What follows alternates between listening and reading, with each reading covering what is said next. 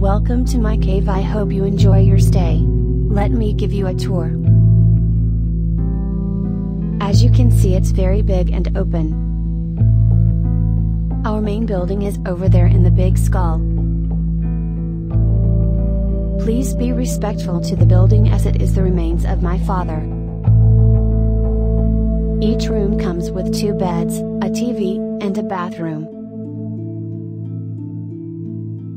Here's our janitor Gerald coming by on a boat to clean up the interior. He is a human so be respectful to him. We will provide a breakfast for free so enjoy your stay to the fullest.